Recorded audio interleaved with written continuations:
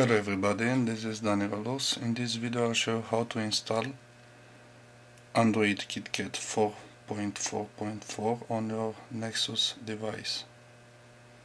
This is the latest update from Google. So, go in here.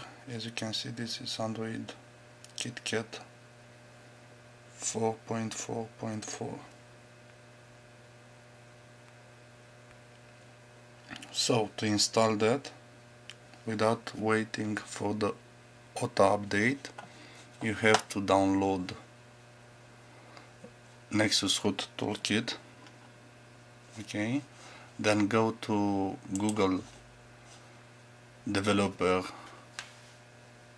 page and download the latest firmware image. In this case KitKat oh. 4.4.4 so after you download it just open the Nexus root toolkit then press flash stock. Okay here others. I downloaded the factory image and here you have to choose your image. So that's it